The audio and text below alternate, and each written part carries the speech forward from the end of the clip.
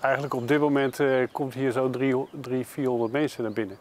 En eh, dat geeft wel andere geluiden. En ja, dat zijn allemaal mensen die eh, gaan bewegen, sportief zijn en dat is prachtig om te zien. En we zien nu helemaal niks. bijna als een, eh, een dag niet geleefd eigenlijk als het ware.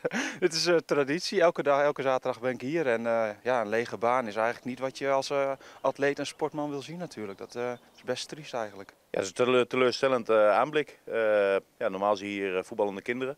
En op zondag voetballende senioren. En dat, ja, ja, dat zien we het liefst natuurlijk. Dat is wat ons samenbrengt. En dat is er nu niet. We zijn eh, donderdag met eh, een paar mensen bij elkaar gekomen. Toen hebben we het besluit genomen om alles af te wassen.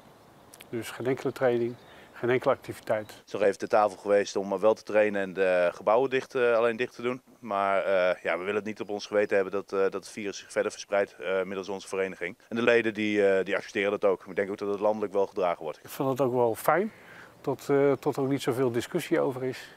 De meeste mensen begrijpen het. Zeker, ja, zeker ook hoe de, de uitbraak zich ontwikkelt op dit moment. Dan eh, begrijp ik dat dit gebeurd is. Eh, ondanks dat mijn sportarts zegt, ja, eh, ga lekker door. Maar ik snap dat deze keuze gemaakt wordt, ja.